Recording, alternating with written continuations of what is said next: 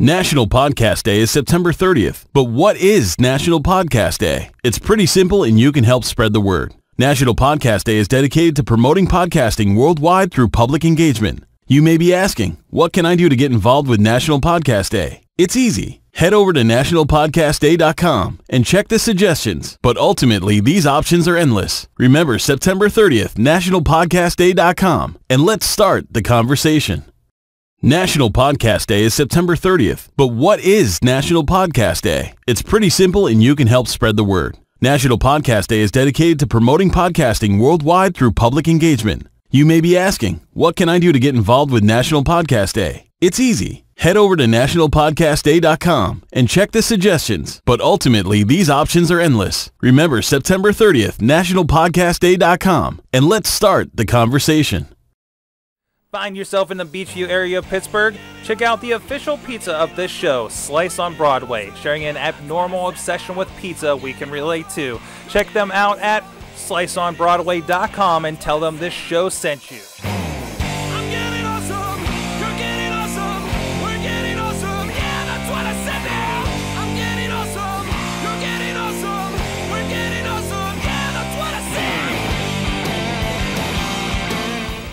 Hey guys, it's the Awesome Cast. Mike Sorg at Sorgatron here, uh, in the studios, in the Mayhem Studios in Pittsburgh, PA, ready to talk tech, get geeky with some friends here.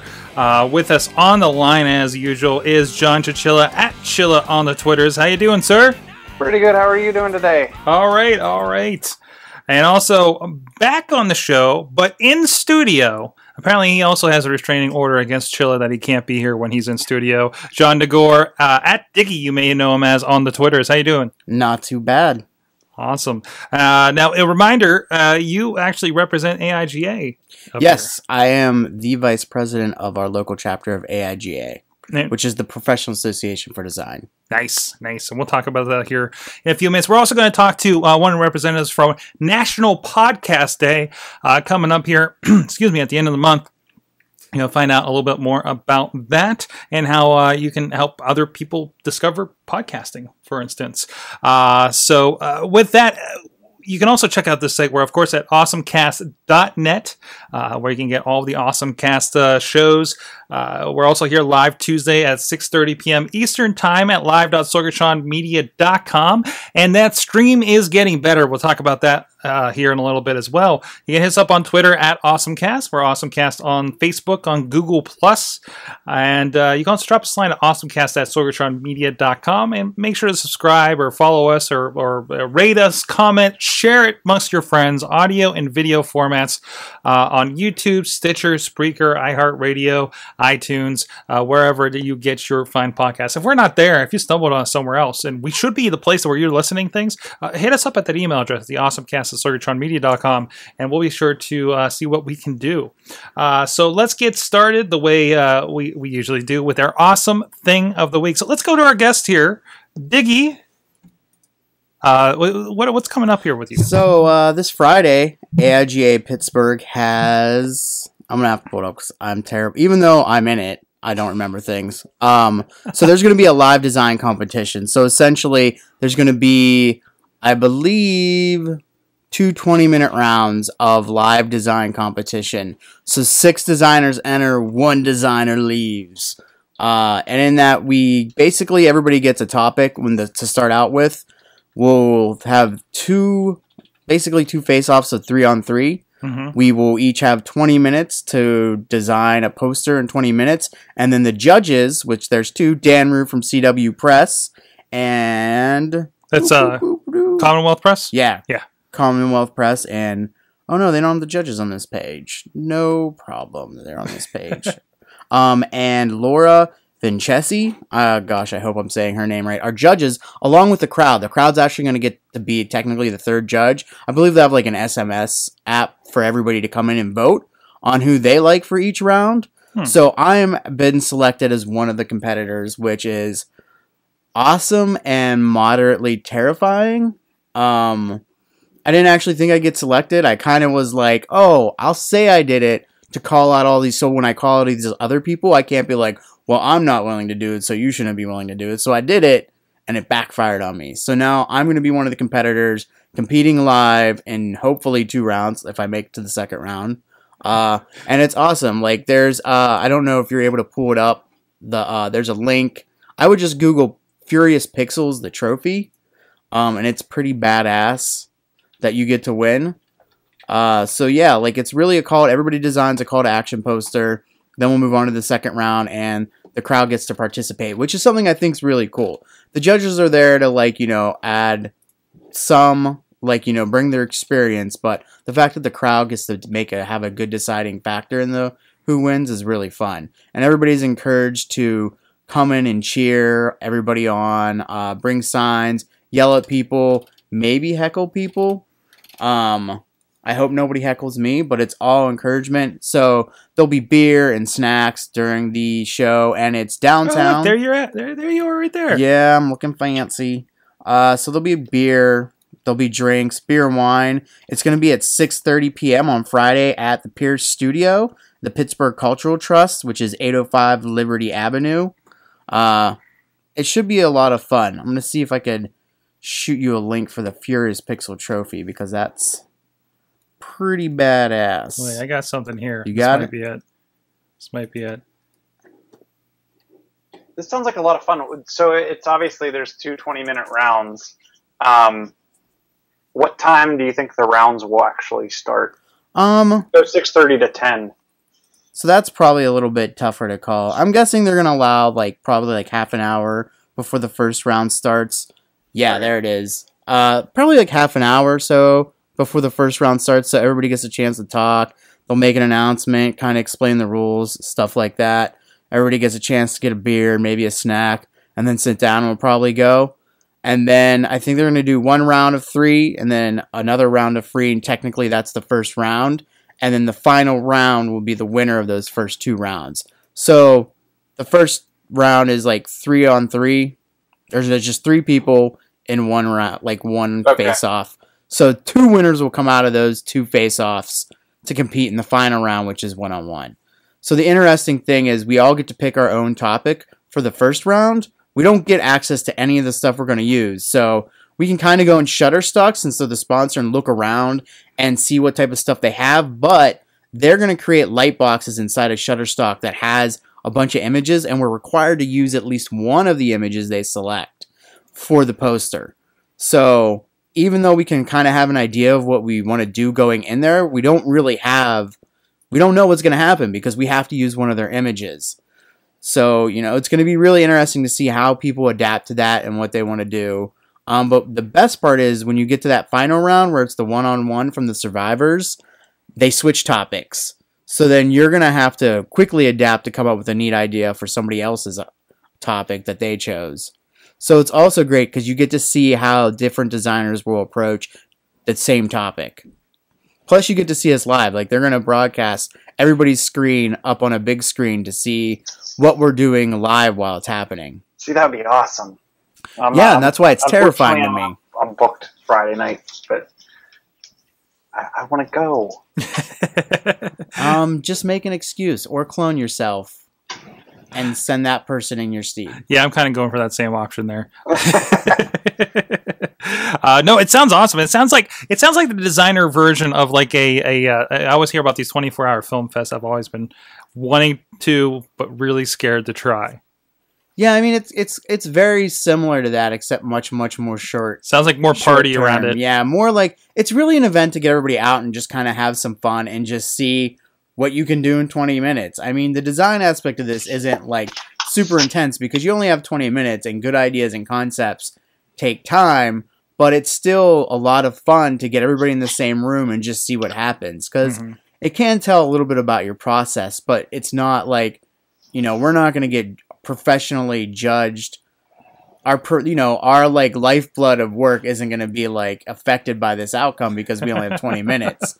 Uh, but you know, it's a good time. It's really just to get everybody in the same room and have a, a fun time messing around. hmm hmm Yeah, and, and that's really important. I, I know I've been talking about that with um, you know, with the podcasting idea, uh, with the, with everything. Get every- get everybody in the same room and collaborate a little bit. You know, um, have fun. Uh, you always like I've I've been listening here and there to your podcast with the IGA. Uh, uh, Creative Briefs. Creative Briefs, my podcast. And uh, Got a new co-host. you got a new co-host. Who'd yeah? Carl uh, left. Anastasia Lance is going to be the new co-host. Okay. So maybe in a month or so, you'll probably hear her first episode. Nice, nice. But but I'm always I'm always amazed by the the um I always feel like you're looking for the the uh, designers gone wild stories on yeah, there. well, there's one thing designers like to do. It's drink. Um, Yeah. that's just that's just how it is. You know, designers like to go get boozed up. Well, design is a stressful job for one thing. um, For the right, I mean, I mean, it's, it, there's a lot of uh, pressure. It can be There's stressful. a lot of pressure. I think it's a lot less stressful now yeah, that we have awesome tools to let us do our work than it was like in the 80s and the 70s like before you know adobe came in and digital desktop printing came in and Mhm. made all these things a lot easier like you had old guys like at night like lining up tape and cutting out like stick ups to like get Mhm. everything mocked up What- pick like perfect we say pixel perfect but it wasn't even pixel perfect back then it was just perfect it was it was truly it was truly a craft. so It back was- then, you know, that's Yeah. where the kind of that that mentality came from. Like those dudes were drinking and smoking all night long, like just to like manage dealing all that stuff. Mhm. So I think a lot of it is just kind of like kept on as we moved into the digital age. a, a, a, a guy that actually he podcasts with us here for the journal podcast um, and he was talking about he i think i think he was doing a paper for the navy or something and he says he's like i worked on an ad for like three days and then there's like i don't like it change it and that's all he got oh yeah, I mean dealing with clients can be a little can be a little rough if you don't know how to talk to them. oh yeah And it's much harder when you're younger. When you get a little bit older and if you had a, a little bit of interactions with your client, if you're good, you'll kind of know how to like kind of uh, swim those waters, so to speak. hmm Uh, but you know, we like we like to drink, and I go since I'm a board member of AIGA.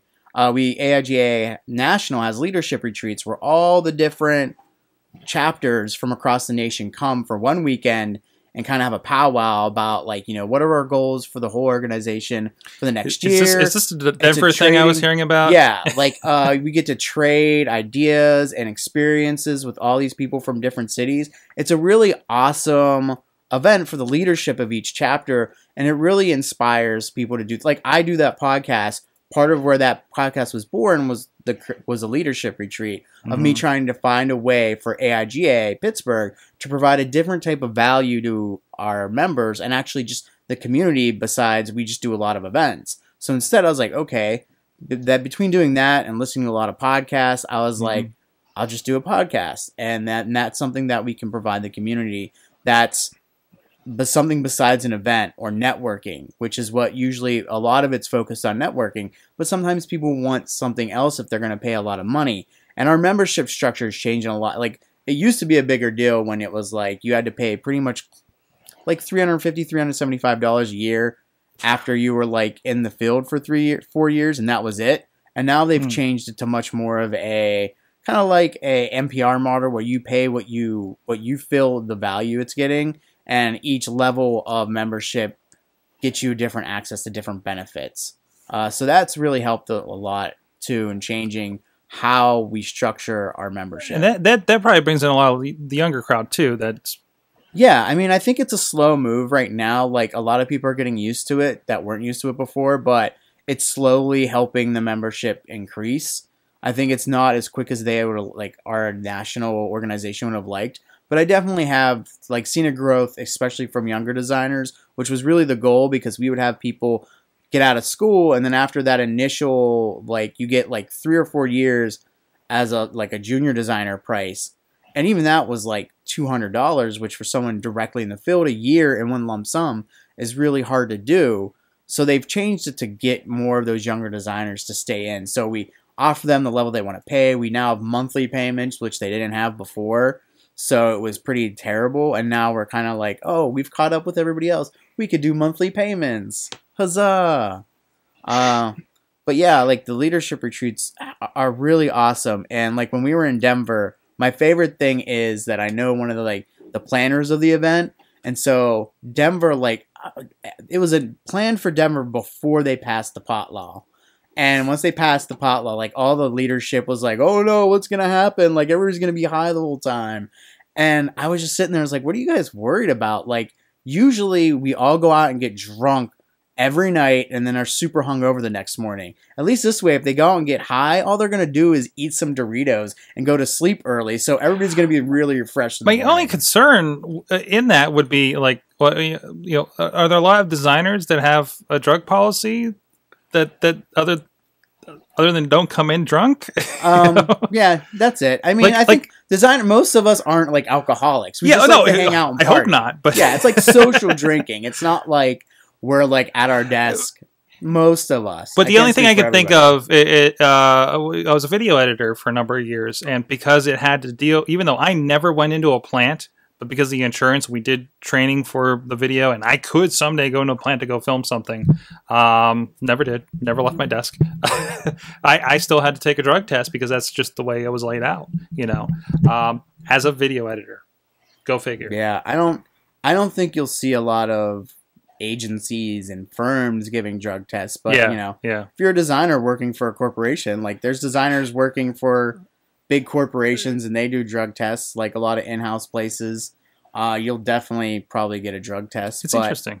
I don't think most of the designers like the booze more than the, the marijuana.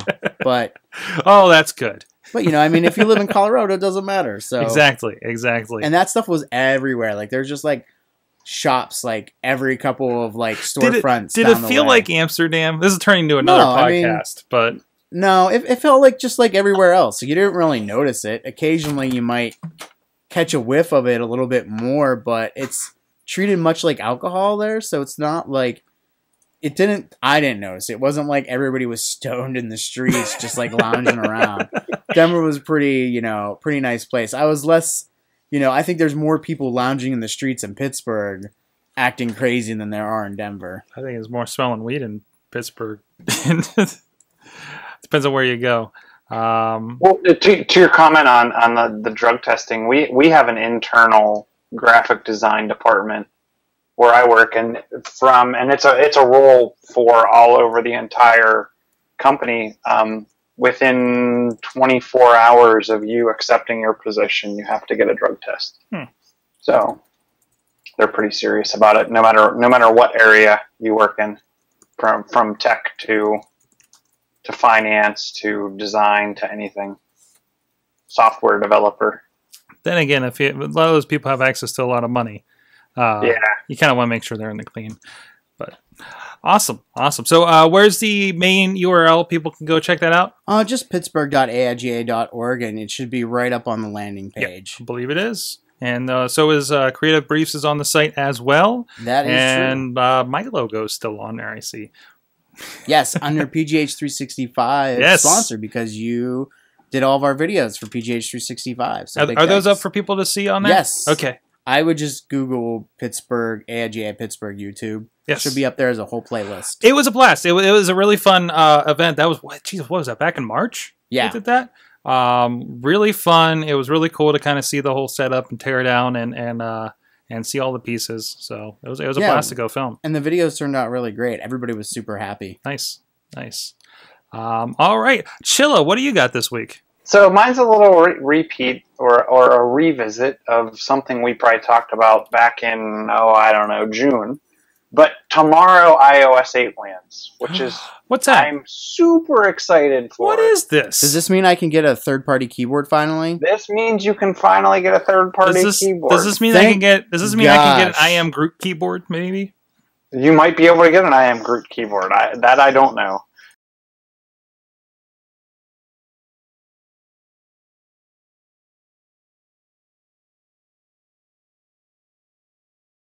For me, is and and, and like we like we we've talked about in the past, but a lot of us run betas and things of that nature. Um, so we've been living living the life of iOS 8 for a while. Um, I'm interested not only to see what other people think of it when they get it tomorrow, I'm interested in all of the onslaught of applications either getting updated or um, new applications taking care taking um, advantage of new features.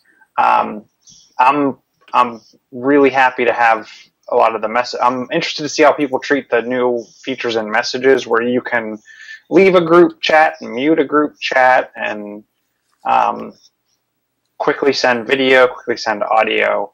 Um, to me, the messages was the biggest change for me, and QuickType. QuickType's pretty nice, so it'll be interesting. Will I get more text messages, or will we just get longer text messages instead of a few word answers? Will we get books via text or emails via text? Um, that's the kind of stuff I'm looking forward to, as well as the things like um, I think uh, Microsoft already posted something for their OneNote application, um, integrating with the, a lot of the share features. I mean, I'm I'm excited to see what widgets come out real quick. Um, the swipe keyboard, uh, things things along that nature. So there, there's a bunch of questions on what time it'll be released and, and all that kind of stuff. I'm guessing it's going to be early afternoon, but I guess we'll we'll have to Keep have hitting to that- wait to find Keep, out. keep hitting that refresh button all day long. Well, Yeah, so, I mean- so I have GM. As Okay. far as as far as I know, they're not making any changes to what I have. Um, in fact, they, as far as I know, they didn't update anything.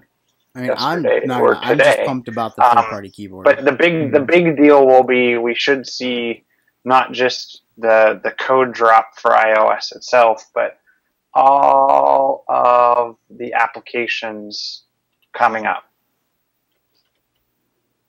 So that that's that's where I'm excited for. Awesome. Awesome. I can't wait. Because I honestly keep forgetting what all changed, and it seems like minute things.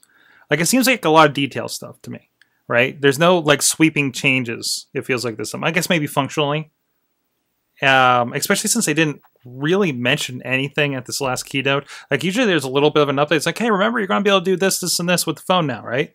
Um, so I don't know. Uh, cool. Get update. Everything's going to be updated. We'll, we'll we'll see where that leads. I don't know. I'm not terribly excited. Like I think I'm just kind of part of the cycle at this point. Dude, I'm pumped.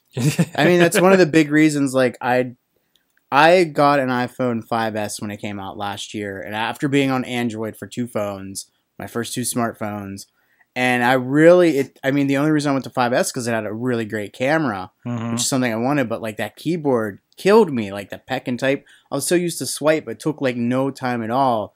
So I'm extremely happy that that's So you're like bring back. Yeah, Swipe's going to be like the first one. Oh, I know. out. It's going to be so fantastic. I mean, now I might leave Apple for different reasons because I can't hold a phone anymore, but I'm probably the only person in the universe who's upset with a 4.7 screen, but Uh, yeah, I don't know about upset, but I feel like like just if they would have done a 4 and a 4.7 and that gigantor screen. I feel like somebody out there is mad they can't get a window or an iPhone 4S size phone. Like I feel like we're we're leaving small hand people behind. yeah, me. I'm small-handed. Small hands. They're not giant. You don't need a tablet. Yeah, like I know? have giant these weird giant palms and then just these stubby fingers. So like I can put that device in my palm, but like my my fingers can't get anywhere on it. So so you don't even like like their big thing was like well your thumb can reach across. Yeah, like the five. Like yeah okay with your giant man hands Tim Cook okay man, they ain't reaching across that four point seven. He's full of lies, lies. Like the four, the the 5S is fine. Like it's a little tall, but yeah I can you know easily keep a hold of that and use it with one hand. I had a Galaxy Nexus before that, and like that using that one handed and typing, even with swipe, was super hard for someone like me because like I'm like trying to like get over all the way on the phone. Like sometimes I'd like use my chest to kind of, if I'm walking to kind of like hold it while I do it, but everybody just wants big screens. first I all, see. I'm I'm I'm not a big fan of the big screen. Uh, I want. I, I, w- I actually would like an option where I could go back to the the iPhone 4 4S size. I, I want that smaller real estate, which I mean they'll be getting rid of the 4S, so everything will be the the 5C and above. I'm wondering if they're going to see where next year. I wonder if we'll see next year where there's a six, six plus, well, six S, six S plus, and some kind of other smaller screen. iPhone Mini.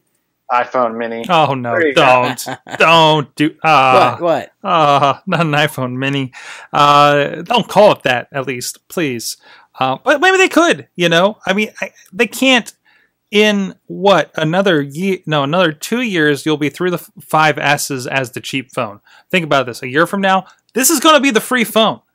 Mhm. You will get Touch ID as a free feature at that point, unless they do some kind of weird 5C thing with it, right? Yeah. That would That's be correct. crazy. I watched the. I watched today. I, I tweeted out on the Awesome Cast account. I think I did it on my personal account too. Um, the Daily Show reviewing a camera phone in 2004. Oh, please tell me this is recent. What? Oh wait, is this no, like no. This is 2000? from. It's Ed Helms in 2004 on Oh the Daily gosh. Show reviewing look for a, it. a s- a a cam. It's it's on our accounts. It's fantastic. it, it just blows Oh my your mind. Like 10 years ago, we had cameras on our flip phones. Yeah, man. I mean, it's like what the iPhone's getting up there. Just iPhone one's getting up there now. What was that? 2008, 2007. 2007. Yeah, that's seven years ago. We've been with this, and, and We're getting and old, guys. Just- yes, we, we, yes. we have to deal with This is all. it had. I mean, I mean, think about it. Anybody like that's graduating high school, um, their young adult life. This has been a thing that, Wah, that I throw on the ground. yeah. You know, Think about ten years from now, people are gonna be like screens. What are sc- what do, what do you mean screens? what are you guys talking about? Oh men. I have implants. I don't want an implant. Eyeballs. I'll be first. I don't want an implant. I, I'm always amazed. Like I think, I think, uh, I think, I think most of my family is like this. I, I, I I've noticed like, hi Missy, um, like how little she opens up her laptop. She's Facebooking all day, but she's not even bothering with a laptop. We didn't even upgrade her laptop because it's like from 2010 and it works fine to type documents in Word.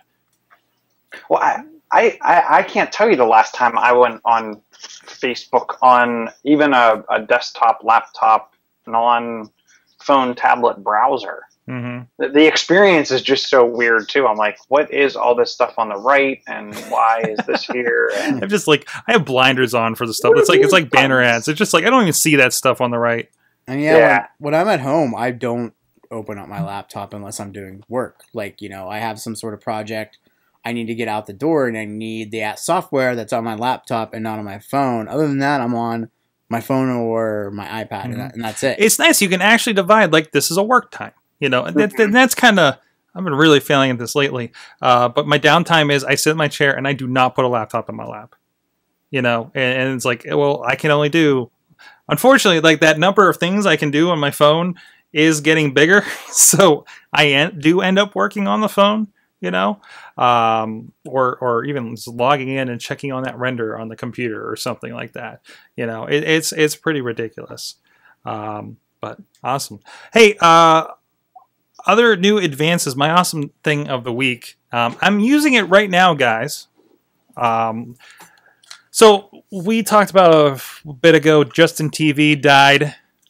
Uh, UStream has not been a good experience to our loyal uh, uh, watchers every week here on live.sorgatronmedia.com. Uh, there's some pretty, pretty horrible. I'm sorry. Uh, does this hold up? Which is actually another podcast, is in our, our chat room. Uh, F small hands, people. I have a Note 3 and I'm a midget. Well, that's your your prerogative, man. I don't want that. If I wanted a tablet, Like, I'd get a that's like, tablet. That's like carrying around a giant book. Yeah, man. that It's just like you're just walking around with a book, a touchscreen. Like I don't. I have a tablet for that type of stuff. So Yeah. like I'm on the go. I just want something that fits in my hand. And but to your comment on UStream, is it is it something up with my me viewing the stream, or is it normal that in the middle of a show, after I've watched the advertisement, it'll just all of a sudden cut commercial, and then I lose where you guys were in the stream? Yeah, So I- it's like, I um, lose those it's minutes? it's definitely a. Uh, I think it's an annoyance model to get you to subscribe because I noticed, like, I guess the user can subscribe and get rid of ads. Twitch does the same thing, um, or I can subscribe for a much bigger number that I cannot afford on a podcaster's budget uh, to get rid of those ads. So I'm looking for alternatives, and there's another alternative that I tinkered with a little bit, couldn't get anything going. Uh, started tinkering again, and uh, we're using YouTube Live Uh, we actually have I have a uh, test YouTube live stream. So please, if you're on there, please I, I hope you guys test out the YouTube stream if you're on live.sorgatronmedia.com. So uh, let us know how it's working. Is it, it, it? I'm not pushing out full HD or anything to it, just to make sure we you know it's good. You know, um, and the computer's going at a good clip, recording and streaming and everything to two streams. I'm still going to use Stream as a backup. Um, and uh, it, one one advantage I see out of this, first of all, how many times have we had issues where Wirecast has crashed and I lose the video file? Right? That's very true. Like if the power goes out or something, like I, there's no backup other than me um, configuring something where a video feed comes out of the main computer into another computer and records it there too, or onto a different device. Um, like those are the things that I've worked through in my head to try to make that work. But if you're using YouTube, YouTube Live, like we have experienced with Hangout on live or on air, I'm sorry, um, whatever goes out live gets recorded at YouTube. So this entire night of podcasting, warts and all, is up on a YouTube server. If the power goes out, this computer dies. Oh my God! All these horrible things I need to knock on wood. Um, it's there you know i did not lose all my shows i can i can pull that down because i know how to pull down youtube stuff it probably gives me the option to download the entire file as an mp4 uh, because they've been doing that lately uh, which is really nice if you do hangouts and just want to drop that into a podcast More more importantly, it's not Flash. Thank you. I did have some trouble coming up with my browser because I refused to put Flash on this laptop. Uh, some of the browsers did not like the feed because sometimes if it's like a non-converted feed that you just uploaded, it won't load the HTML5 yet because Mm. it's working on it. And I think something was weird with the stream too. Maybe because I was just starting it too. Um, but Well, your str- this, the stream, I, I can see the stream. It, it's underneath the UStream on, on the site. Yeah. It's using the HTML5 player. is there? looks Okay. Good, good, good, and that that opens that up. So the, the hopefully I can kill off a Flash applet. I, eventually, I'll make that the main player, um, and the UStream will be a link as a backup to go for people to go to if something went wrong with UStream or YouTube.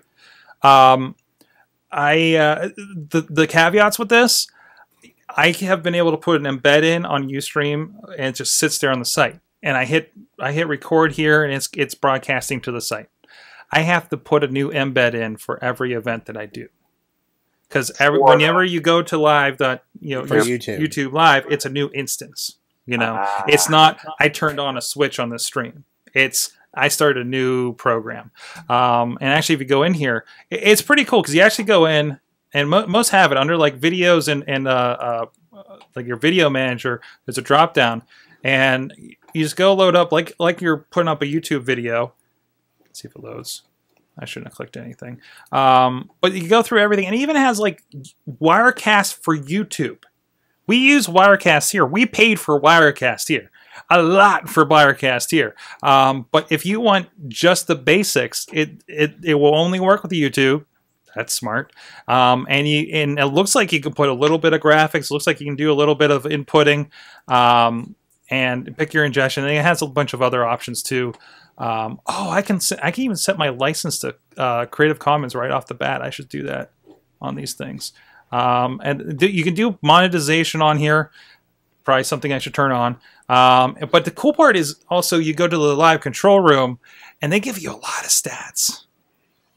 Um, you can see like how many how many people like analytics for the entire stream. So we've been on for uh, almost five hours right now. Uh, this is our, our fourth show we're recording, right? And you can see like total total view time in hour six, peak peak concurrent four.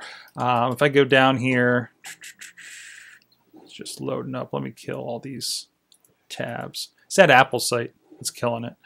Um, you know, average view, and you can also, as you go in, I didn't set it up right here, but you can set up a preview, and you can actually create highlights on the fly as the video is going. You can you can say just put a, a set start, a set end. There's a preview thing that comes in, which I guess you can um, kind of click around into to through the entire feed. Like if you have any other live feed, you can kind of click back into it. Um, you can insert ads in certain points. You can do broadcast alerts if something's happened. I can say the broadcaster canceled this event if we had it embedded somewhere or experiencing technical difficulties. Please stand by. Uh, we'll be right back. You know, again, throw these cards up like this, which I think I accidentally did earlier. Somebody said there was a standby thing. It's been really good about because I have to actually leave Wirecast and then open up a new one, re-authenticate YouTube, and and that's the other thing. You you you hit authenticate if you're logged in on on your YouTube account. Um, you just pick your YouTube it wants to go to, and it sees that project that you set up in YouTube, um, and you're good to go. It, it sees all the ingestion settings that you've already put in. It sees that I wanted to send it at like 480p tonight, um, and you you're you're just good to go. Uh, analytics are pretty cool. Like it, it breaks down a graph of like what people you. It actually shows you in the stream. I don't know if you can see the colors on here if you're on video, but actually shows you what stream people were using. Total number of people, so tha- that's the blue line, and then like how many people were on the 360p stream, how many people were on the 240p stream. So I can actually go through this and and, and start looking at. Say if I'm pushing HD every week, and I see that like, well, people are generally using SD feed. Why am I going to push HD? So you can start kind of user testing that kind of Mhm. stuff and see if like okay you know we'll bump it up to uh, i don't know 720 next week does anybody even use it you know uh, i would say probably not since it's in that little box down here in the youtube stream um, john's saying that it's a good feed sounds clear and f the ads everybody's saying f the ads in the F the stream uh, so I, I like I, I couldn't figure out what I did last like the la- last couple times I tried this like on Tuesday night I set something up in advance. The only weird thing is um, I don't trust setting something up in advance and then going in and coming down here and setting it up because it doesn't seem to work. And I don't know if it's something about the way I think set things up, the way I use Wirecast. Um, I was I'm actually working with a client to to use this uh, very soon for for a live event, a pretty big live event coming up. Um, and it was just like I would you know let you know I need access to your page to put the embed that day. You know we we can't set this up in advance just because I don't feel good about it. Hmm. I think that's Um, something they'll figure out in the future. um, I think it's just it could be. It, honestly, it could even be something I'm doing. Maybe I'm missing a checkbox. Maybe it's something like that. Um, there's even comments built in. Uh, if you go to the YouTube page, um, and they pop up here in this little command center. Um, so you're you're good to go. There's actually a, a, a one in here from earlier. I guess Malengo's looking at the page and clicked through, and it says, "So, is there another chat?" Uh, for instance, Uh, which again, kind of the same problem. Well, people can find it. I'll have this thing on through the night. I can see if somebody wandered onto my YouTube stream, you know, uh, through through other methods, and uh, and maybe I can respond to that kind of stuff. Create live comments so people can call you an asshole while you're talking. yeah, via YouTube, right? um, but but generally, I, I'm going to try to figure out ways. Um, if there's anything I can post in here and say, "Hey, go to live.sorgatron media for the chat," like I try to on some of the other venues. But generally, I think this is going to change the game about how we stream around here for these. Um, I, I that's why I wanted something clean and it's free because it's YouTube because they want you to do stuff and hopefully some of you enough of us turn on the ads for us to, for them to pay for this and uh, eventually maybe I will to a point that you'll get maybe the pop-ups or something like that uh, if we had some kind of critical mass of live viewers but you know for now I just want people to have a reliable stream you know uh, I know uh, you know uh, Doug out there he he sits there and pulls up the UStream and uh, Chromecast his browser to throw up on the TV. Now he should be able to just take the YouTube stream and Chromecast that. Yeah, I have a, I have a button right here. It says play on TV. Yeah, Chrome's telling me where, to, and it's funny because I don't even have a Chromecast, but it's giving me three options where I can send it to. that's interesting because I'm on. I think I'm no no I no I'm on a network that has a Chromecast and I don't think it's popped up on this one. May have to go to a YouTube page. Do you think at some point that that like Hangouts would integrate with the live YouTube stream Actually, when you go, it asks you? it, it says what do you uh, it, it- I don't know how it asks, but it's like do you want a basic or do you want a custom ones? And the basic one, it just opens up a an on-air hangout, which is also awesome. You know, I mean that's that's what pretty we do. Mondays we do um, we do a weekly podcast because that's the thing everybody can understand in the venue. Um, but uh, we've had they call it educational grand rounds, and they've just been having discussions about some of the stuff around the you know around the behavioral therapy place. Uh, you know, like methods that they work, uh, nutrition, you know, things things that are part of the program there. Lately, they've been using Hangout to bring people in and talk to them, bring in experts.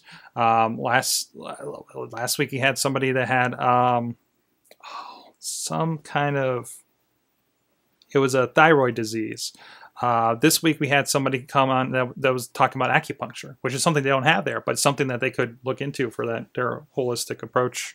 Um, uh, for instance, so so is er, you know people are into herbs and people are into essential oils and just kind of like collaborate with people across. In this case, for the most part, Pittsburgh but um, but and kind of beyond. And we actually set that up so they already have a projector in there and they have a sound system. So we just pipe it through there, so the Hangout actually goes up on a projector screen, so everybody in the room can talk to them. You know, and, and Hangout's been really good about. I got a snowball mic and a Logitech webcam, and I don't get a lot of reverb from like the room, like somebody talking the the uh, voice of Oz talking to them uh, over over uh, over the big system in there. So it's been pretty cool. It's been a good experience. They could use a better computer. It looks kind of chunky from their end, unfortunately, but uh, the internet's good. It's really just that box is bad. Mhm. It's like a triple core Athlon. I don't even know what. Um, I don't know what that is. I I, I launched I launched Ubuntu on it just to get a little bit cleaner CPU out of it, uh, and I get a little bit better video out of it. uh, but but otherwise, it's it's uh, yeah. I think this opens up for a lot of live options. You know, I mean, how many years uh, with PodCamp we would go with somebody that was the expert in streaming and they had their own servers and everything. I'm looking at this stuff. I'm like, do a PodCamp with this. We just open up a bunch of live streams and go. Is it easy? Is it so? So now, since you're doing, are, are you cutting the YouTube stream in between and then redoing your ID, or is it one? Is it one long stream that you'll cut apart later? Well, I, I'm wondering what's what's happening. Well, as far as what I edit, no, up on YouTube. what's up on YouTube. Well, well, whatever is going up on YouTube, I'm going to shut off. Uh, but it's there as a backup. Okay. I'm not going to leave that up. I don't think there's much. I don't, I don't think there's much need to leave it. But if something happens, how many times have we had a conversation in between shows and be like, "Man, I wish I recorded that." Guess what? It Mhm. did. Not as high quality as everything else, but we can snag that now. Uh, it'll be tough to download that giant. boy, uh, we- We're also going to test the limit. We're over five hours on this live stream. We're going to see if there's a limit to this live stream. They cut you off at three on on Hangout, I believe. Um, if you're if you're doing a live thing, uh, but so so in the end, I'm going to have over a six hour no. I'm going to have about a ten hour file today. It's pretty big, man. It's uh, just for fun. I'm going to try to download it. Ooh. just just as a challenge, just as a just just to see if I can do it because that's what we Will do. it tell you? Will tell you how big it is ahead? Of, well, I know. Yeah, I know. it'll tell you how. big As it it is. starts to download it, if it got that far, Okay. I think. So There's there's an app like, I nope. use to download some stuff, and it Nope. you you are using YouTube wrong. Stop it. You do not get to this file. I'm one of the. I guess I'm probably end up being one of the YouTube abusers. I'm the one that's ruining for everybody else. Anyways, uh, speaking of everybody else in podcasting, other cool tools and stuff. Uh, National Podcast Day is coming up here uh, at the end of the month. I believe it's September 30th. You'll find out here in a second. Uh, but uh, we're going to talk with one of the representatives. So let's go to me in the past. Hey guys, it's uh, Mike Sorg coming you from the past here uh, a little bit for this week's episode. I got a great guest we wanted to squeeze in here. Of course, uh, you probably saw on the beginning of last week's episode uh, the ad for National Podcast Day, and of course, you know, you know what I do. I'm into podcasting. Anything to support, get that out there. See that there's a community out there, and how it spurred me to join a few communities myself. Uh, but I got one of the experts. He's the uh, was it the chairman of National Podcast Day? You got it, Michael. Steve Lee joining us, podcastday.com if you want to check things out. Uh, so how you doing, Steve? Doing really good. Actually, I had to turn off notifications on my phone because it's blowing up from National Podcast Day stuff. It's it's just exploding. That's awesome. That's awesome. Now I know. Well, first uh, let's get into uh, a little. What is National Podcasting Day? You know what originally transpired, Michael, was I had heard an advertisement for I don't I don't even remember what it was now, National Pizza Day or something. and The- and I was thinking, Cheese Pizza Day. I know that I was very excited about Cheese Pizza Day that happened a few weeks ago. oh yeah, yeah. Well, I'm waiting for the pepperoni one myself. There you go. We, we, we, we do actually have a pizza sponsor on the show, so it'd be perfect plugs in. synergy, right? I love it. And what transpired was I was driving home and I thought, why don't we have one in the podcasting space to assist in getting the word out, uh, you know, about our craft, about our art, what podcasting is? Because I, I've been doing experiments where I've been video pe- people and ask them, what's your favorite podcast?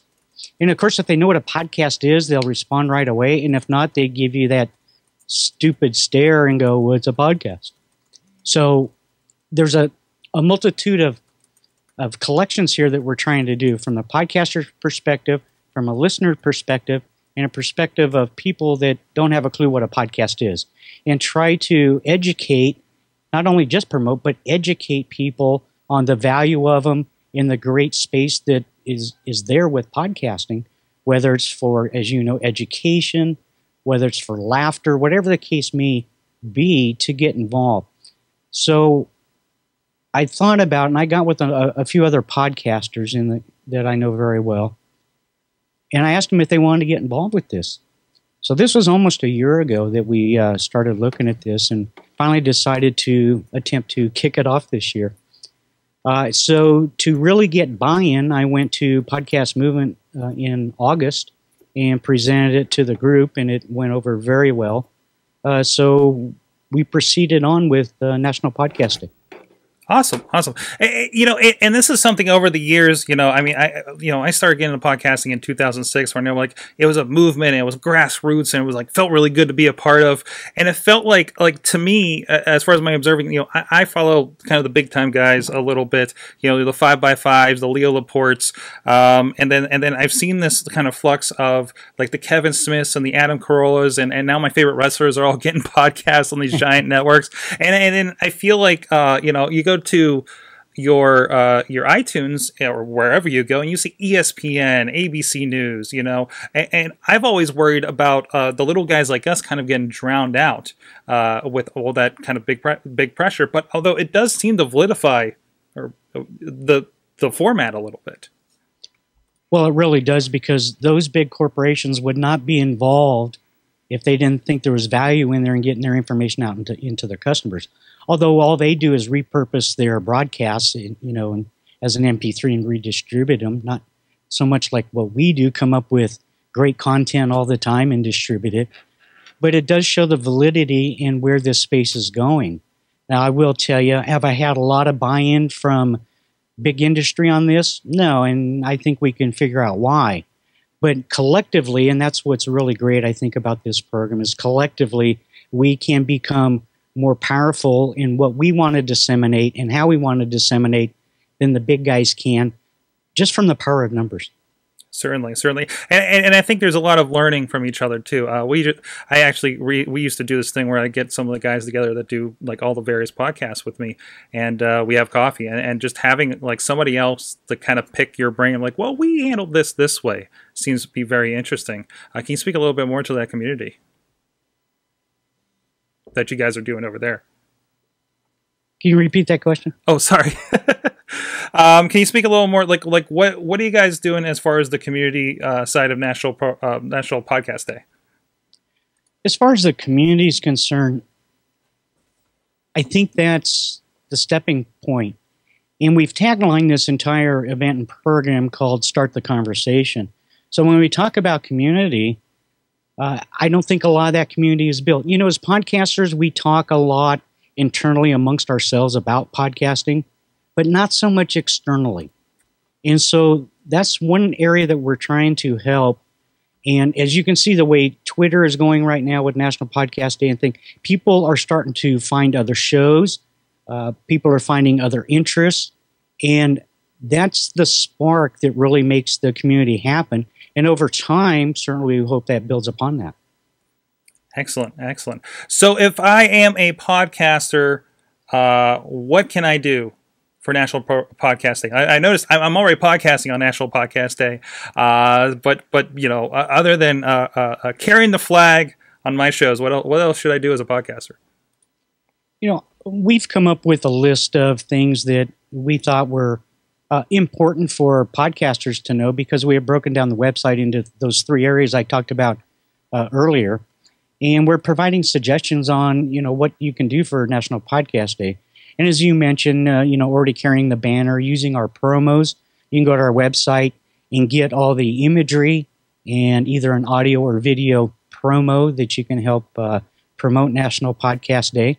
Uh, but the, then there's other suggestive areas like, um, you know, host a meetup or create a 30 second promo and, you know, cross promote it with other podcasters.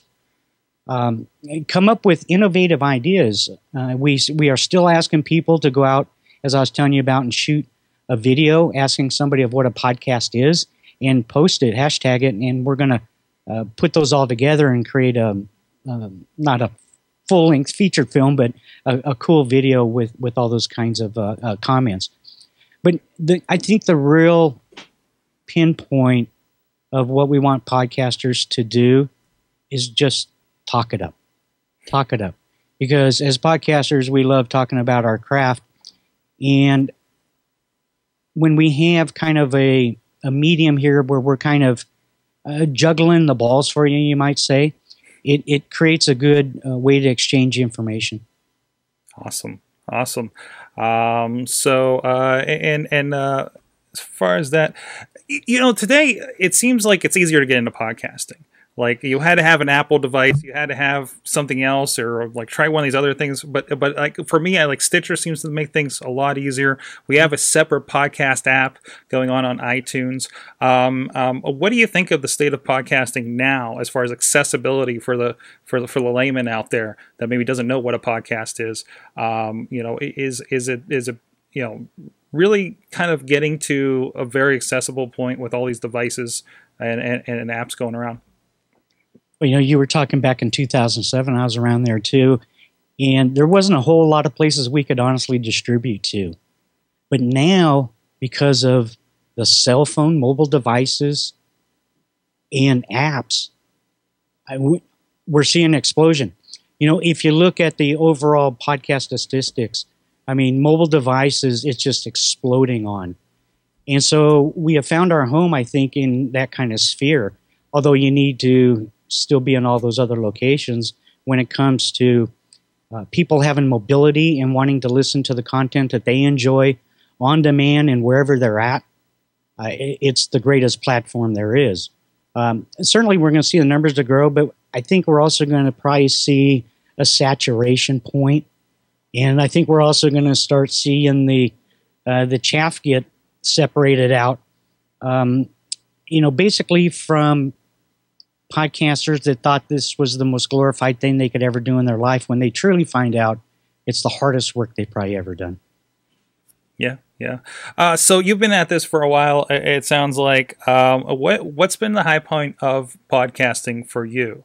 Uh, you, you, mentioned you mentioned some people. This may be like for some, uh, you know, kind of the high point in their lives. But like, what, what is what's podcasting brought to you over the years? If I can get a little ethereal, I guess. Yeah, well, actually, uh, I run a podcast network called Netcast Studio at netcaststudio.com, and we, we have various shows over there.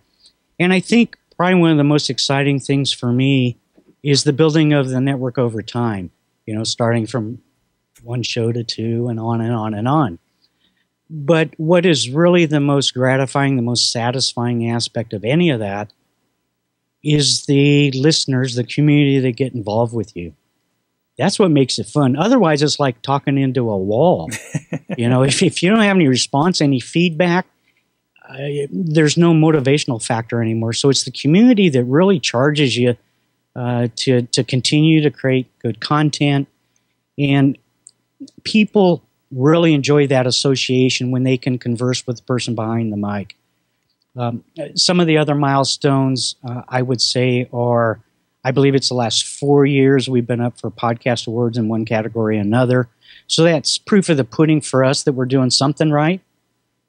And we've been able to also expand in podcasting. I don't know if you're on our platform, but for any other podcasters or listeners that are uh, listening, we also do twothumbsupmedia.com, which is a podcast directory where anybody can go submit their shows to there as a, a directory service for locating or uh, displaying your shows. So there's been a lot of highlights, and then when we get to uh, National Podcast Day, when I start putting all these different venues and things that we're doing, I, I'm just smiling. I'm just I'm just loving the space and loving what we're doing. Awesome, and, and, and it's amazing like how big it is. Like I always, I always feel like we we're kind of in our own fishbowl, especially as podcasters and everything. But we have our own, you know, round of uh, of podcasts that we we listen to. We know of like these are all brand new sites to me. Right. so um, you know, definitely ones I'm going to be checking out as a podcaster myself. Um, so awesome. Uh, so uh, anything else they need to know about Podcast Day? I think the the most important thing to probably get out of this is enjoy the event. Uh, certainly, this is our first year. We've already got plans uh, we're working on for next year to make it uh, bigger and greater. Uh, there's a lot of things we wanted to get implemented this year, but uh, due to time constraints and funding constraints too, we weren't able to do that. But share it. Start the conversation. You know, if you're in the grocery line with somebody or at a Starbucks, uh, you know, buy them a cup of coffee and say, "Hey, have you heard of podcasting? let me, uh, you know, let me evangelize you about podcasting because it is our craft, it's our art, it's our love. We enjoy it, and let's get more people involved with it. Um, you know, it's a space where e- everybody has their own individuality. It's not set in stone like a lot of radio and TV programming is, as you know. So let's get people hooked and get them over to podcasting. Awesome.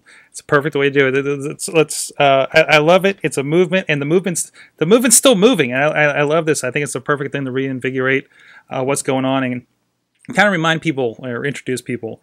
Uh, certainly, what what a lot of people are doing uh, independently, and it's uh, truly an alternative. Uh, I think to to media because I mean, we're in the long time we're we're we're a lot of times competing with like main media, radio for am I going to listen to this hour podcast or I'm just going to listen to radio or I'm going to watch uh, the Daily Show, and uh, it's really cool to see the big numbers that do decide this kind of thing. Absolutely, because people can now find information of interest in in whatever they're, you know, that they have a niche in.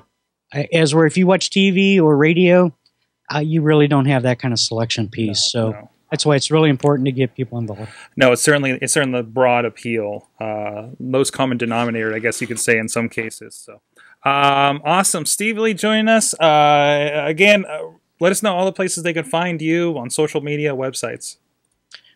Well, of course, National Podcast Day, nationalpodcastday.com. Uh, same thing on social media there. You can find my network at netcaststudio.com, and we're on social media at Netcast Studio. And of course, twothumbsupmedia.com. Get your shows put in there. If you're looking for a new show, go over there. Just browse around, look in a category of interest, and I'm sure you'll find a show that you like. It's twothumbsupmedia.com. All right, and with that, let's magically go back to Diggy on the couch. And now a word from our sponsors. That's right. Thanks, Diggy. Diggy is enjoying over there. You can see it. Here's the live Diggy, Diggy cam. He's enjoying a wonderful Slice on Broadway, who who provides a pizza for us and our in studio guests, like Diggy. Hey, he's waving. He's waving for you guys on get it. audio. There we go. There you go. This is the sound of a pizza ad and munching. Um, but no, check them out. They're sliceonbroadway.com. They're they're they're a great group uh, down there uh, on Broadway out here in Beechview in the South Hills of Pittsburgh. And they got a new location over there in Carnegie, PA. Uh, Did I say it the other way now? Carnegie. Can- Carnegie. Carnegie. How do we do this? Carnegie. Carnegie. Carnegie. Depends on where you're Now you're from. confusing me. I Stop had a discussion with a New Yorker about this a few few weeks ago. Now it's bugging me. Over there, Carnegie, isn't it? Carne- Carnegie, PA. I don't know, whatever. No, however you say it, PA, it's go Carnegie over there Mellon. because there's a slice on Broadway, but it's not on Broadway. It's on Main Street, but it's still d- delicious and it's awesome. And Rick Rick Seebeck was there. Um, so please go check them out. SliceOnBroadway.com for all your pizza eating needs, um, and uh, tell them that the awesome cast sent you. So let's get into the tech stuff, guys. Uh, we have a few things to talk about. Uh, for one thing, Facebook is testing a way for users to schedule deletion of posts. Why? Because they need to be like Snapchat. Is it a Snapchat thing? Is that what we're doing? I You're just saying something to piss people off so that you know it's going to piss people off, and then it can automatically be deleted. Is that it? Because I can't see any other reason for this feature. Like, I know I'm going to say something that's really fucked up, and I want to make sure it gets deleted after everybody sees it. Because that's the only thing I can think of. Like you're just there to cause trouble and then automatically delete it. Like it, it could be an interest. Well, well, you know what posts I could see deleting? Like the the ones for hey, win this and enter this contest by day Mm. X. Yes, you know what? I have a I have a client that I put out on Facebook like once or twice a week. It's a coupon because I'm adapting their PDF newsletter to Facebook basically. Um, so there's a coupon that pops up and it expires like at the end of the month. Wouldn't it be great if if if somebody not that you really go to a business and go down their Facebook page, but still you could just have like all the coupons disappear after the end of the month when they're expired. I guess I okay, I take it back. I mean, I guess if you're promoting a live event and you have maybe a link to a live stream of some sort, and then that stream's no longer there, Yeah. you could have it. There's to no reason. that away. There's no reason to go to live.sorgatronmedia.com after midnight tonight because we're done by then. Usually. No, you got to come back next Monday. That's true. But they're going to go there and they see an empty chat room and they see a sad Ustream feed. Um, I guess the YouTube, they, the YouTube will still work. So, and maybe that, and- and- and you know, we're talking about what to do with that. Maybe I will leave that like unlisted, but there in the embed in case anybody wants to go back and watch it. People can relive our Tuesday night podcast day whenever they want the rest of the week. It's a service. And I also have to figure out how to work it into the stats which I'm still trying to figure out. Um, anyways, I I don't know, but it looks like they're uh, running the test with a small number of users on iOS devices. So this is not a brand thing, although great ideas for brands. But again, it has to be Snapchat. It, it has to be something like that. guessing Or that- wouldn't it be great? just- But what are you publishing like Snapchatters to your public feed? there well is it public you know it can be personal you could if somebody knows how to use facebook they could say this is just to my friends or this is just to a certain person you know um or or i But if you already have those settings set up, then you shouldn't be worried about deleting the posts. true true there there's It's a just for people to start shit. I'm telling you that. I can't like for a personal reason. I can't see unless you're there. But then again, it'd be for promoting something. yeah That's the only reason where I see. Wouldn't this. it I be great. The only reason I brought up the promoting was because I mean, Facebook has to trigger, figure out a way to monetize it. They're not. They're not going to do anything that's just going to not make them money. I have a pronunciation of Carnegie in the chat room from from Does This Hold Up? Great podcast, by the way. Look them up on Stitcher. Uh, But, um, it, but it's the, but in the are you talking? Yeah, in the chat though, the way he has it, it's not. It's not the pronunciation because it's Carnegie or Carnegie. So it's how fast Carnegie. I think it's the user way Like, to say where's, Carnegie. The, where's the emphasis? Carnegie. You replace that E after the M with an A, and that's the Pittsburgh way. that unintentionally rhymed. But What are we about it. doing? What are we doing? What's happening here? We're talking about drug tests. We're talking about how you say Carnegie. That's that's Talking what you know. What that just that just feels good to me to say it that way. Um, But but again, back to but on the Facebook note, I mean, they aren't going to do something that's not going to try to generate them money, and that's that's why I jumped to the. It would be nice for, or maybe it cleans. I mean, I'm sure they're keeping the posts, so it's not like it's saving them money on the back end by not having to keep a bunch of posts around. So I, yeah, I don't That know. The only, the only thing I can come up with is for for advertising or or promoting something. Uh, it'll come. I don't know. It, it is interesting. I think they're they're going to keep poking at more of these experiments. They're going to become Google-ish, Google-ish with this experiment thing, Except more annoying. except more annoying, and it'll be more take this away posts, I guess. Um, BuyPartisan. I saw this app on Colbert this week. Apparently, uh, with this app, here I'll bring up a little bit of uh, network error has occurred. That's fun. Um, I have this app. I downloaded it. I tried it on my Epson ink in the studio or in the office, um, which, uh, by the way, skewed, I believe, more Democrat, um, if I recall. But the idea is you want to know if the company that you're supporting with your dollars is supporting the party that you want to support. So you take the barcode. I wonder if it has my previous scans. Uh, it's BuyPartisan, as in buy, as in money buy. Uh, you take a picture of a barcode. Here we go. Uh, I have a super chill H2O drinking water, and it's got a barcode. Let's see. Let's see what party they support. I'm going Republican. You think so? Uh, let's see. It's loading. They're monetizing water. I might have got too obscure. Let's see. This is a pro. This is a product of Supervalu. I, I don't know. I think that's from the bodega at the That's top of the hill. grocery store. Uh, oh no, yeah, super. Wow, that's not what this is. But whatever this is, is 54% supporting, and this is like this is co uh, campaign dollars. They're they're they're basing this on, and I'm sure that- Donation, campaign donation dollars. Cam- yeah, right? ca- campaign donations. Uh, so this uh, it's not this, but it is from Supervalu Inc. and it's a new deluxe three piece Therma Del Soy body. I think that's a Oh yeah. So like barcodes are notoriously not always not like- always the thing. Yeah, unless it's like a big brand thing. So like if it's a well, if Supervalu sounds like a big brand thing, so they'll reuse the same barcode. Okay.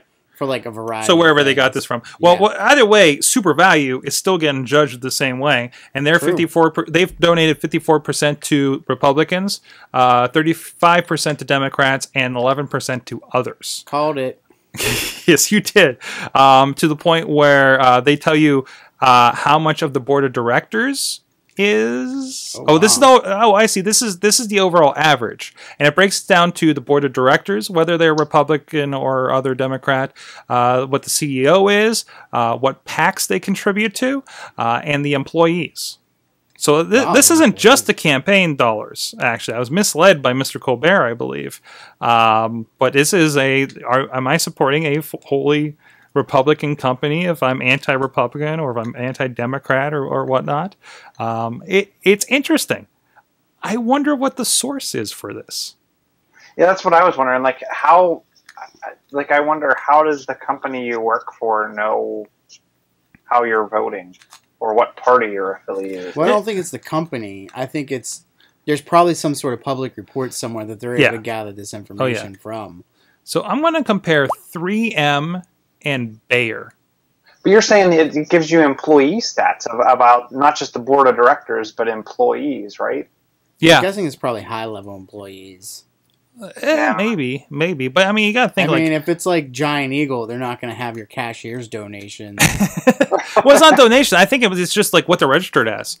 Uh, now I'm looking at it. Um, so like, okay, I, I, I compared 3M and Bayer, uh, the the pharmaceutical company, uh, and you can go in here and say contributions to a political party, for instance. Ooh, that's a lot of numbers. Um, and Bayer has uh, donated uh, a bit more than 3M, for instance. Um, yet 3M has donated a lot more to PACs than Bayer. So I mean, it's it's an interesting breakdown tool, you know, um, that's attached to a barcode scanner. You know, um, this will be fun at parties and family functions. Oh, I'm Or sorry. Not for me. Not for me. Screw them all. Uh, the You know, we- the I- I'd politician's not the interested to see how family. I want to make that clear. Actually What's that? impacts What- buying patterns. What's that, Chilla? I, I, I- I think this would be interesting to see how this could impact buying patterns. I don't think I don't think it's going to be big enough to impact buying patterns, but still, I think individually, um, if you're very beholden to if you're very uh, extremist one way or the other, like whether whatever extreme it is, then it might affect your buying patterns. Like But- I have a list of people in my head I want to introduce this app to just yeah, to see that's, what I was just thinking the same thing. Again, maybe this will be fun at family functions and gatherings. Um, hey, have you unless heard they're of like this? scanning like the like whatever the meal was made from, they're like in the back in the garbage scanning it to make sure that they're not eating a meal made out of one contributed thing or They get home from McDonald's, find out it's a Democrat company, and throw it away. yeah. You know, I mean, It's like, oh, this it is a get- great it could get casserole you made. Too bad it was made by a liberal Democrat, and then just not eat it. You're eating Democrat pudding. is this socialist tuna casserole? All tuna casserole is socialist, Mike. It's tuna casserole. Oh man. Okay, that we're. I hope we're probably gonna get emails on that one. Um, I'm gonna. tr- I'm gonna send this app to my dad though. This is an experiment. Um, anyways, hey, I want to give shout outs to uh, a friend of the show, Walt Ribeiro, which was who who was on uh, a while uh, uh, wow, a month ago. Uh, but uh, he mentioned, I think he mentioned Patreon when he was on, and he was doing the great uh, uh, uh, mashup videos with dancers, video games, music, uh, and he wants to continue and see about having it uh, uh, get supported uh, via Patreon. Uh, we've been experimenting that too. It's been- Hey, what's up, Oh, he's talking to me. Here. He's here. He's here in my ears. with Um, but no, he put up a Patreon. You can go check it out. Uh, Walt Ribeiro is creating YouTube videos uh, over there, and he gives a little bit of sample and talks about like some of the issues uh, he's having with that. So uh, uh, it- just trying to uh, make some cool products. Uh, so you can see what he's done in the past. He talks about that. Uh, he's actually looking to try to get four hundred dollars per per orchestra dance video. Uh, he's currently at about sixty-five dollars uh, for that with twenty patrons. Pa- patrons, pa- it messes with me so bad on that site. Uh, but it's a cool project. They did they did cool with like very little resources. I think uh, in the first video or two that he did. Uh, so he's really just trying to make something that's a little more high quality. So go check it out. And uh, you probably have, it's probably linked over there at fororchestra.com as a as a starting point for you. So um, I'm, I'm curious to see how this. I've heard people doing like I'm going to make a video a month and and trying to get supporters for that video every time I do that. You know, um, but but mostly I've seen like like this weekly podcast or daily podcast or something like that seems to be uh, the most successful thing that I've noticed so far, at least on here. Uh, it's an interesting model, and think I think people are still trying to figure it out. So it's kind of like the next step of Kickstarter. So, um, oh, speaking of Kickstarter, I have another one. Chilla, why don't you tell us about uh, one of these stories you have in here? I want to try that, find that link. I, I ran into a guy today I wanted to talk about. So I'm not sure how much of a, of of anyone in this podcast plays Minecraft, but there's an interesting purchase. Well, actually, there's a bunch of interesting stuff Microsoft all of a sudden just rattled off this week um, as Apple starts to, to to roll out their new stuff. Um, yeah, Microsoft bought the company that makes Minecraft Mhm. um, which I, I think is going to be interesting. I'm hoping they keep it much like it is today, as far as kind of open platform. You, you can kind of run it anywhere. It'll be interesting to see what where they take this. Um, I, don't play Minecraft personally. I think it's an interesting concept that reminds me of Legos, like when I was a kid. Um, but I do see a ton of people ranging many, many different age groups um, playing this, whether it be on an iPad, on a Windows device, on an Xbox, pretty much anywhere. And I wonder if this is a way for Microsoft to to try to to hit them young. Um, but I do see this going out to a lot of different age groups, like I said. I don't know if you guys play Minecraft or, or anything of that nature, but I- thought it was an interesting buy. I'm, I'm not I'm not hundred percent understanding why. It's uh, you know, it's not like they're not known to buy studios. Um, most famously, they bought Rare, did very little with it. Mhm. Bought Bungie, did a little something with Bungie. Uh, my brother actually is very, very much into Minecraft uh, to the point where he's he's doing actually let's play videos now uh, and get into that world. That's that seedy world of let's play videos on YouTube. Um, so I, I, I kind of want to defer to him and get his opinion on this um, here in the future. And I'm sure we'll talk about this at length a little bit on uh, on uh, Boss Battle here later um, on uh, in on insertcointobegin.com. Uh, but I've heard a lot of theories over the last uh, half a week um, to the point of like, well, this is a service play, you know, because that's something that you can use Xbox Live about and use all those online services that Microsoft touts and get people in on that. Um, I think it they, to this point they say that they're not going to take it away from the platforms, the multiple platforms that's available on, um, because I think it'd be a huge mistake if they did that.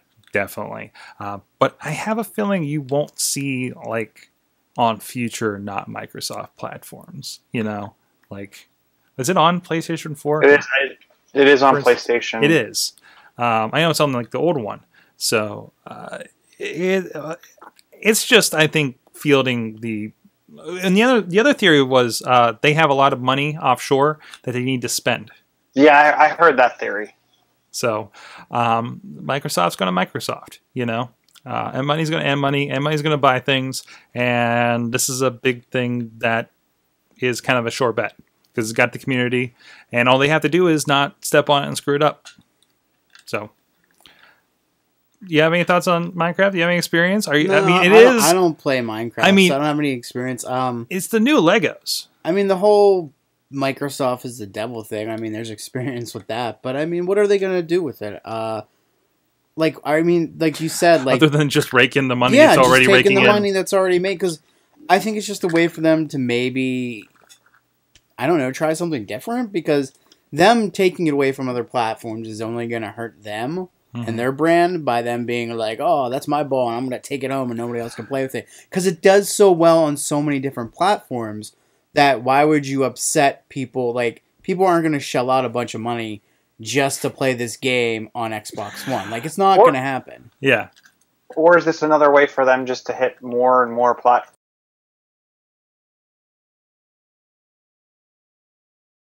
What Satya Nadella's plans? They want to be, they want to be where the users are, and if the users aren't on Windows, they want I to don't- be there. I don't believe most of the theories about Satya fan- plans. Uh, from the chat, uh, Jolo John says Minecraft is the new Tetris. If your toaster has a screen, you can get Minecraft on it.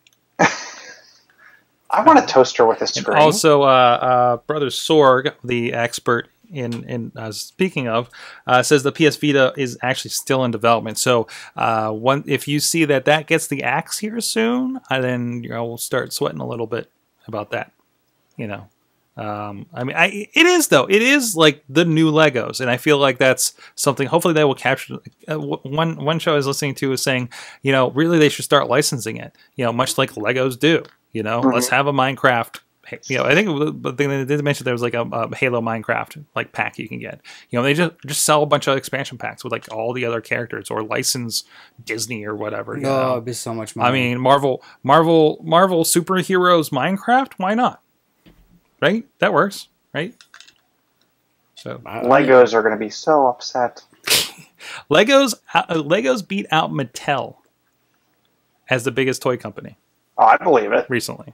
So there you go. But look at Uh, all the money they're making from video games too. Hey man, everything is awesome. I mean,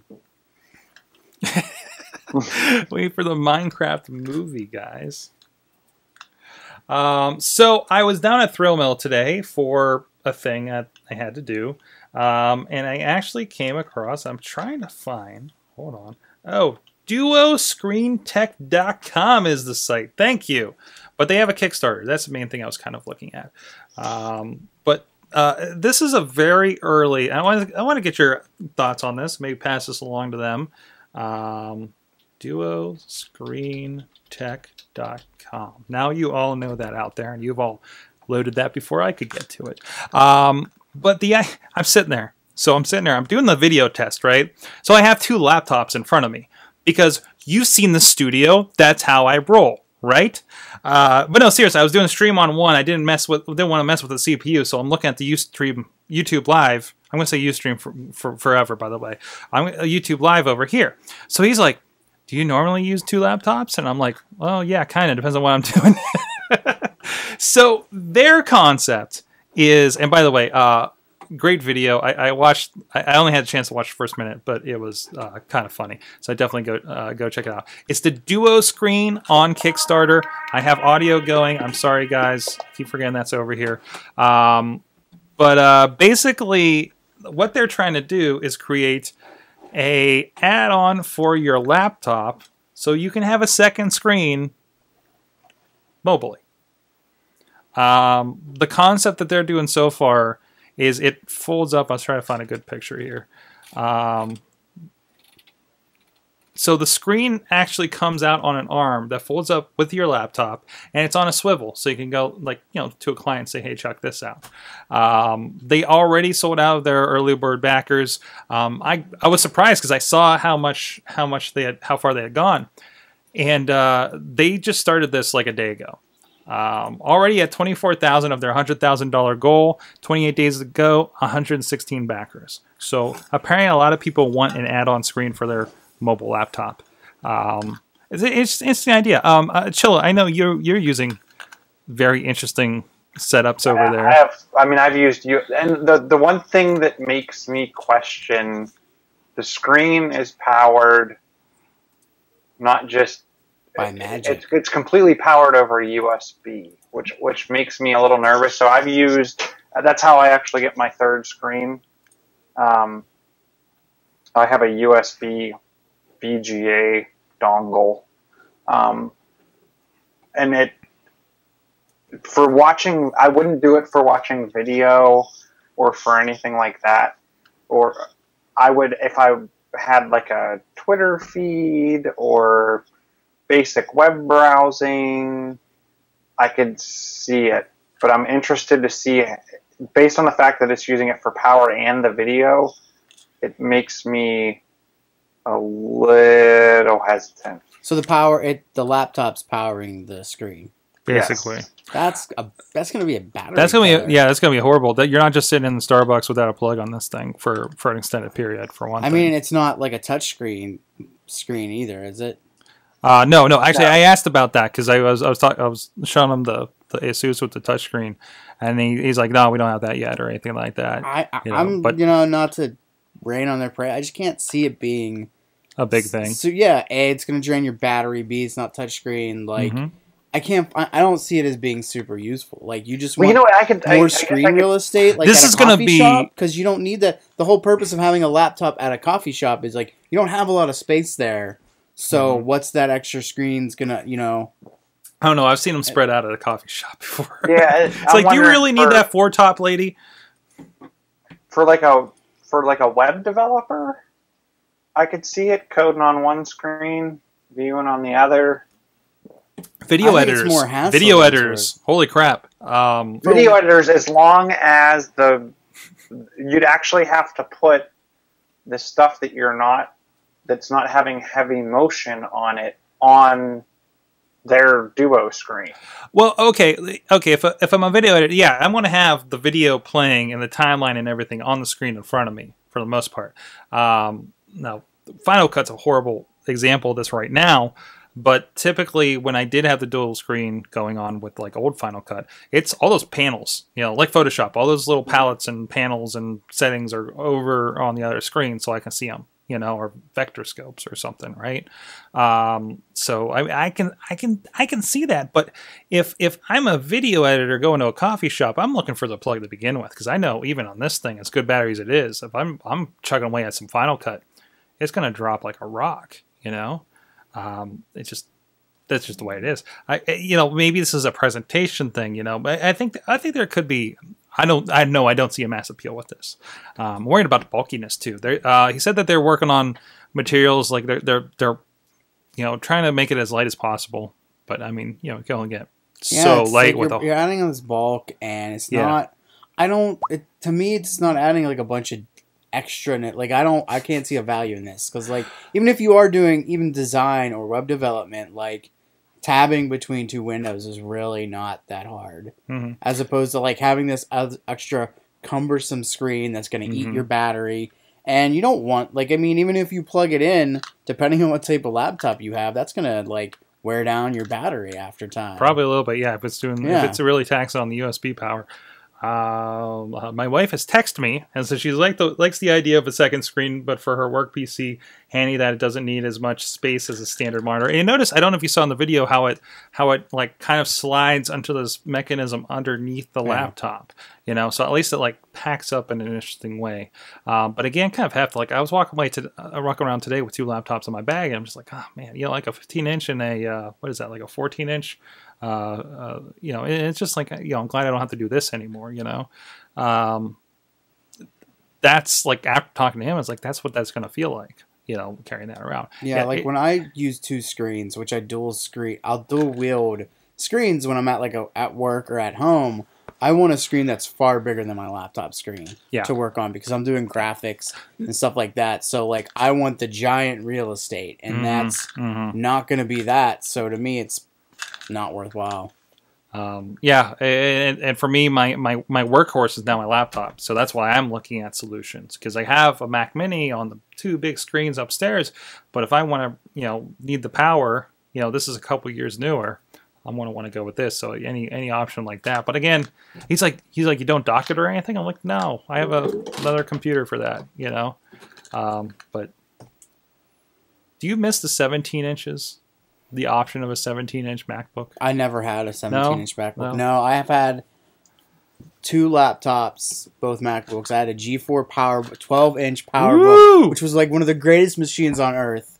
Um, and then I just have a 13 inch MacBook. So you're Not even a you're you're going for super mobility on those. yeah, like. I, because if I need, if I really want to get down and dirty, like I'll just do, I'll just plug it a, another screen in, Yeah. a big desktop screen, yeah. and utilize that. But I've gotten pretty good at being able to like work on both screens. Oh, I will say the 12 inch was a little a little rough, but I'm also like that's when I was new and I was used to having like a bigger monitor.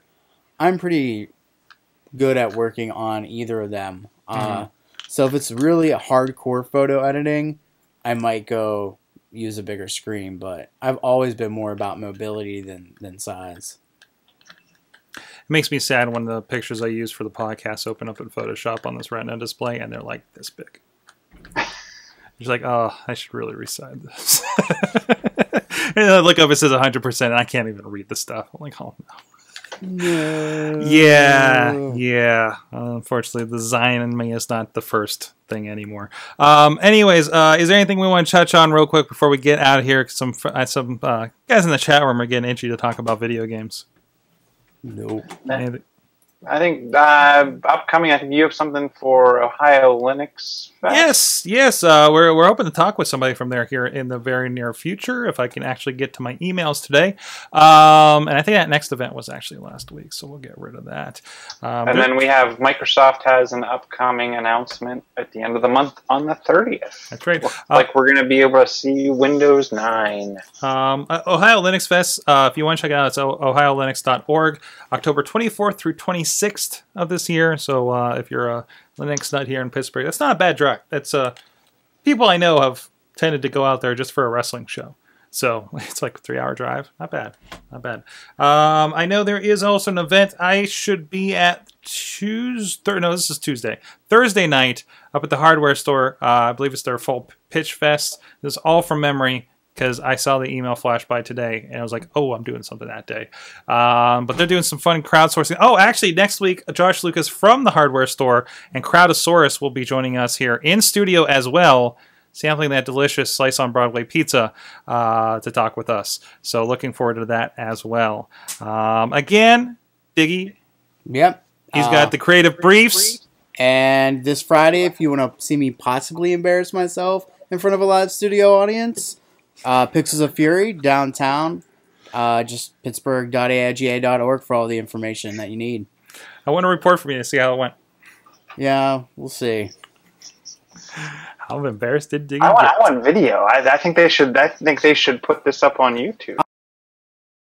News, I don't think they're doing the entire. Like, you'll get a recap video, maybe some interviews. I don't think they record the entire thing though. Thankfully, I don't. I don't want that on the internet. I don't know. Maybe that's the night that you need to. Maybe the Facebook. I don't want. I don't maybe, want a permanent like view into how I do my magic. Maybe what? Like, I don't want everybody seeing how I make the magic happen. No. I mean, I'm already doing it for one crowd. I don't. It doesn't need to be on YouTube. wow. Okay. Uh, I was gonna say maybe that's what maybe maybe that night is what the Facebook time deletions would be for. Oh, I would delete it Oh, Yeah, I'm okay with being publicly interviewed. I just don't want my work process. I don't know. It's just it's just weird because like you are opening yourself up. You're already opening yourself up to judgment being at this event. Now putting that event like on a you. If it was like a live internet event, I would not have. I would have not submitted. now. I'll be like, nope. Maybe that's how Chachi plays playing video games for 24 hours in front of hundreds of people. That's playing video games. That's not like that's not Judging yourself. Yeah, You suck at Mario Brothers. that's okay. I'm cool with that. Not like, why are you picking that font? Why aren't you using this shortcut key command? Really, the serifs? Are you kidding me? Yeah.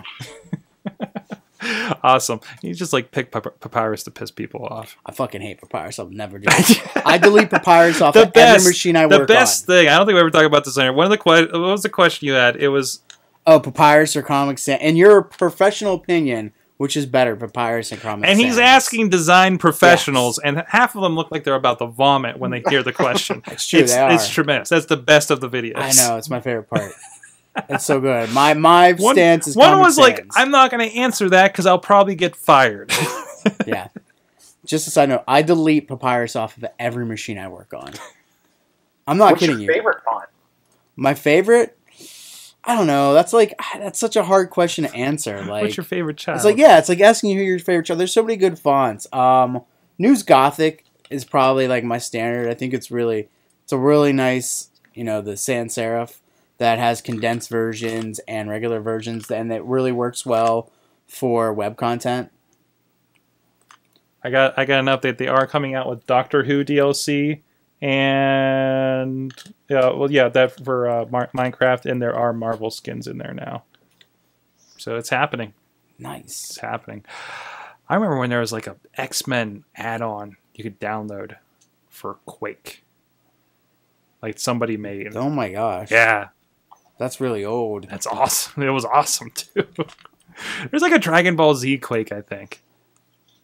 Quake. Ugh. Quake I was the remember day. reskinning uh, Wolfenstein 3D. I tried to make a skin one time. I did not go well. Uh, anyways, with that, this has been your Awesome Cast. Uh, check us out at awesomecast.net. We're on Facebook. Uh, We're on the Google Plus. We're at AwesomeCast on the Twitters, where you can communicate with us as well. You can join us here live at uh, live.sorgatronmedia.com every Tuesday night at a 6:30 p.m. Eastern Time. I almost said the time that it is right now. Um, hit us up, awesomecast at sorgatronmedia.com. Please look us up, subscribe to us, rate us, share us on iTunes, YouTube, Stitcher, Spreaker, iHeartRadio, and wherever else. Hey, iHeartRadio is on Chromecast now. Another way you can listen to us. Oh, snap. Just saying. Just saying. Also, I think Disney was the other one. Um, with that, uh, thank you to our awesome chat room that's joined us here all night and telling us about the things that we're missing in Minecraft. Uh, uh, have an awesome week.